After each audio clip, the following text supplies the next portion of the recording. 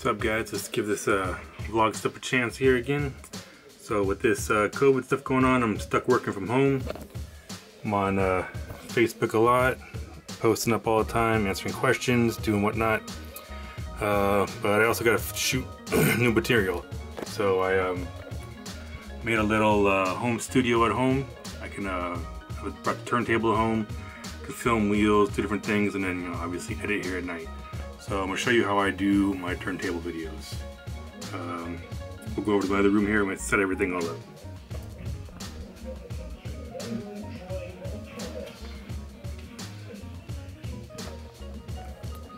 So basically what we have here is I have a standard turntable. It uh, unplug it, plug it in, or hook it up to a six plug, turn it off and on.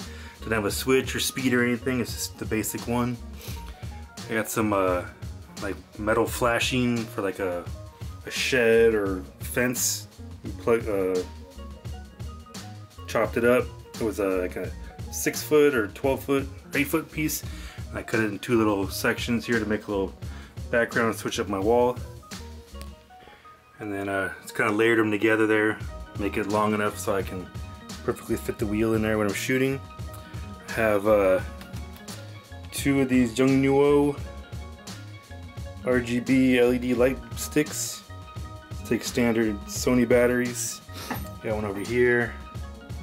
And I just use them to uh, light up the background.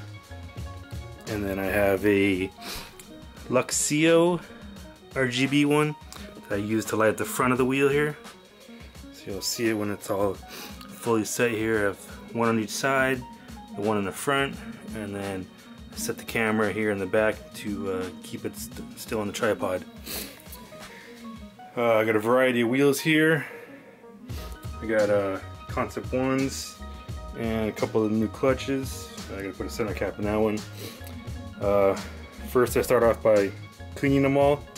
It's you know standard light little cleaner. You don't want anything too waxy to show up in the video. That's what I mean when I get rid of all the dust make sure everything's there. Make sure all the bolts are there. You never know. Uh, valve caps, valve stems. Oh, that one's missing a valve stem. I just noticed that. So always look for that stuff because then you'll you can't edit it later. So for these ones, I've been doing blue RGB on one side or blue lights on one side and the red lights on the other side. Kind of gets a cool little look here. So on one side of the corrugated you see the blue, other side you see the red. Kind of lights up kind of cool, especially when the wheel's turning. You get the different angles of it. This hits the, uh, the opposing side of it. Um, pretty much, pretty much I put them at a max power. Just got to make sure you know line them up to right so it's in there, but it's outside of your video range. Uh, should be good there. Let's kind of twist this one a little bit. And then always make sure your logos are straight. Uh, when setting this up, I just pretty much try to get it as much perfectly in the center as I can. Uh, different widths wheels will obviously be different. Um, so it actually kind of looks like in the front a little more. I probably had a slightly wider wheel there last time, so I gotta slide this back a little bit. I have a little plexiglass thing here that the wheel perfectly sits in so then roll around. You can also use little rubber like drawer stoppers. Put one on each side and it'll stop it from rolling side to side as it's spinning. Uh, yeah. So it kind of looks centered, but when you're back here, looks like it's forward a little bit. I'll probably slide it back just a little bit, get it set a little better there.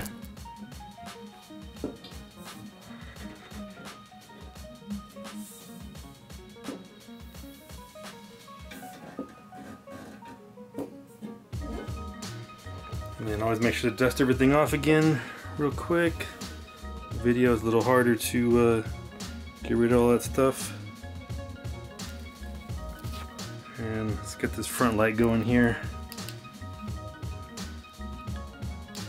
this one's got crazy effects. So there we go. Should be all the way on.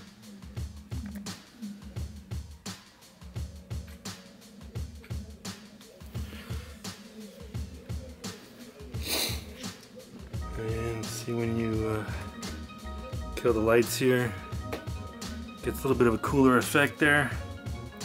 Still daylight outside, but it still works. So now I'll take over to the camera here. Always want to center up your focus there. Looks like I'm off to the left a little bit.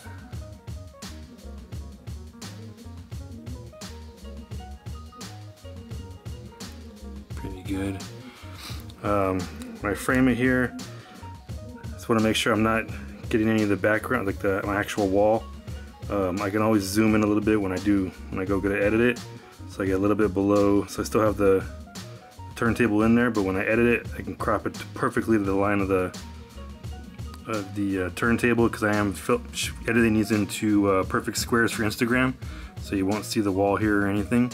Just be a perfect square. I'll cut it right at the bottom of the turntable. It'll get pretty much probably right there at the top, and then obviously the sides will be gone, and we'll be all good.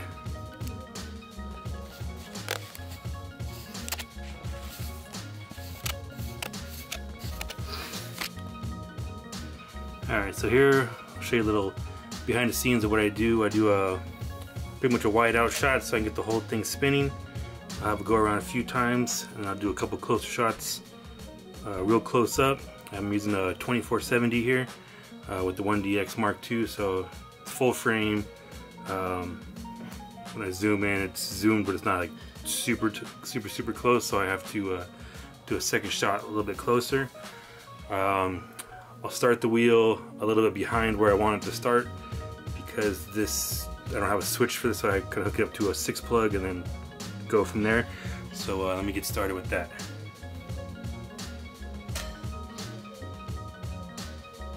So here you can see I move it back a little bit. Uh,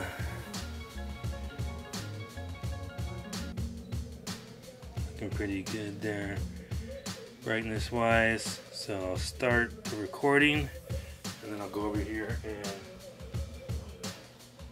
get it spinning. And pretty much does it itself now. I can sit back and chill for a minute.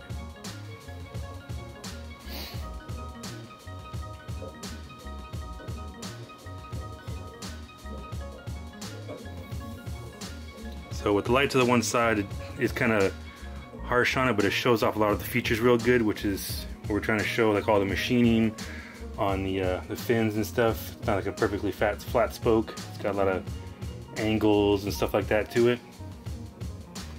So you always want to always find out what your client wants to show off also.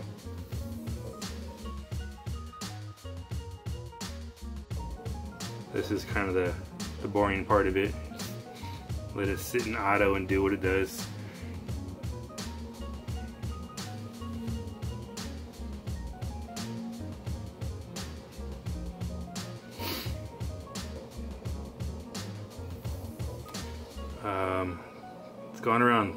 Three times, I believe. We'll probably let it stop it after this one. So just, when I edit it, usually do two spins around. I have a third one there just in case. Sometimes it gets messed up focus.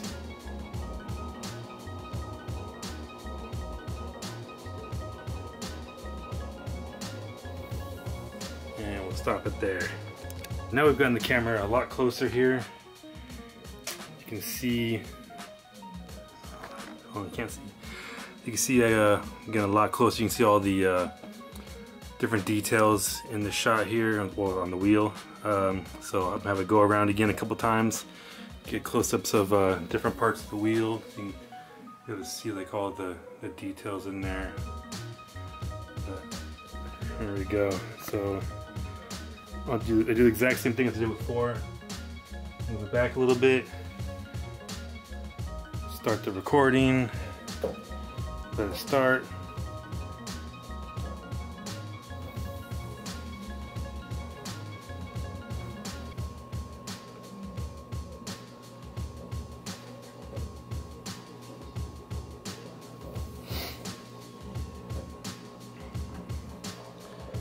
Alright, so get you a little better angle here. As it comes around, you can see how close it is. See with the light, such a harsh angle there. You see all the shines coming off of that metal, off of the angles of the wheel. Also with the uh, different colors on each side, the red and the blue, changes it up a little bit.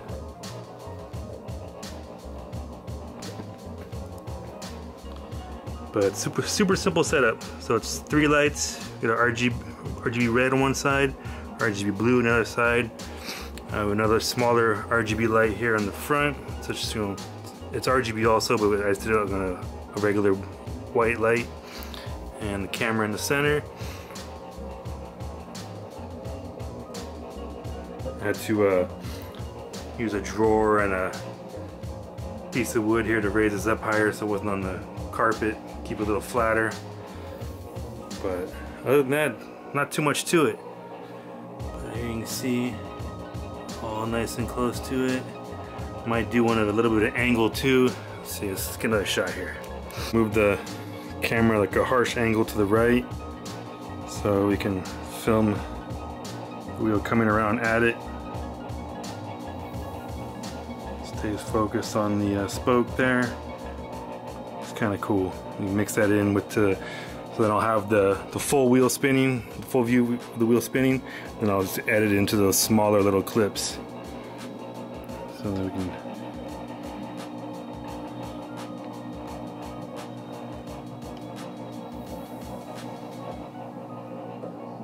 Okay, get the other side there.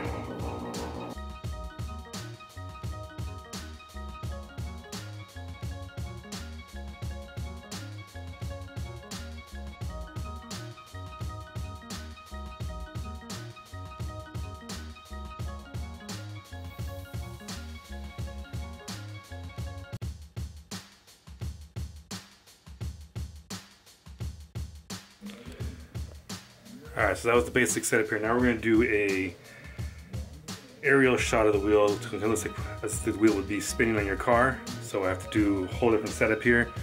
To lay the wheel down, obviously, and then I'm gonna use my tripod to kind of extend over the wheel and be straight up above it, and I'll be holding the main light myself.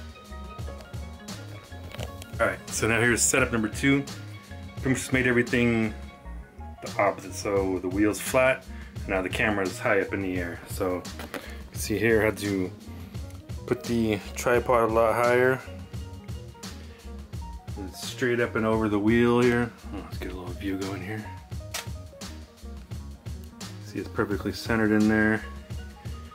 So then it'll spin just like if it was on a car. Um, still have the light there, the blue light, stuff like that, give it a little bit. You'll see a little bit coming off of the spokes a little bit. Um, and I'll be zoomed in, but you can see it's super dark. Well, it's, in this camera, try making it a little better than this So this time I will be manually moving the light over to give a cooler look, more stylized look off of the spokes as it's spinning. So let me figure out a way to mount you guys up here so you can see that it's a little hard to do one-handed.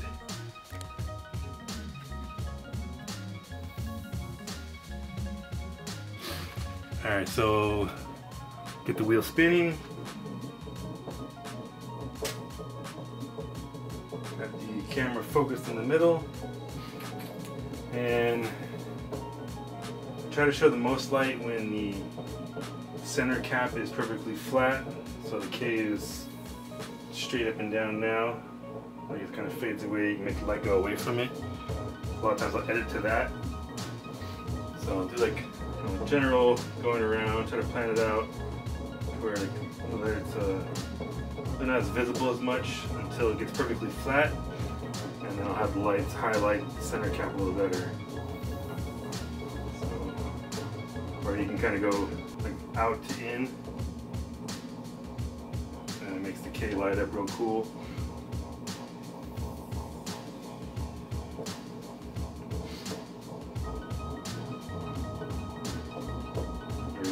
Directly on, it'll uh, make the center really bright and then the outside gets a little darker. Just keep an eye out for hot spots, especially like on the brighter colors, they tend to uh, do hot spots a little easier. Then you can always fade it out, do like a your own like fade the black rather than doing post. Start with the close out.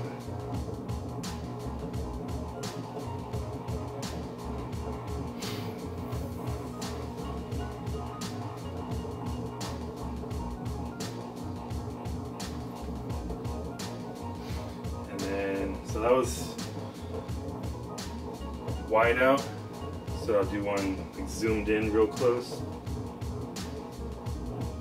Pretty much just get solid on of the uh, center cap there.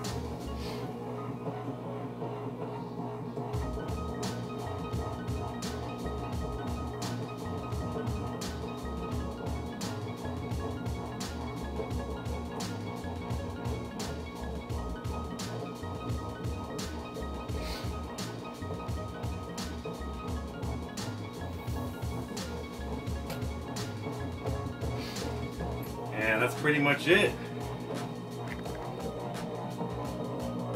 Let's see.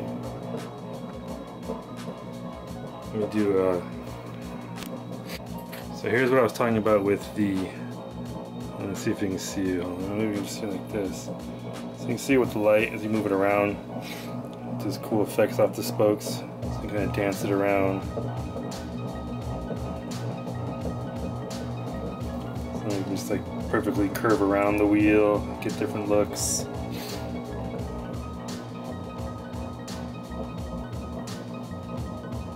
I'm getting glare from outside.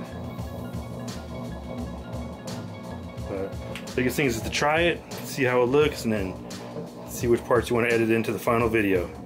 So I'll attach the uh, final videos to this. Um, I guess I could do a little thing of how I edit it also, do a little screen share.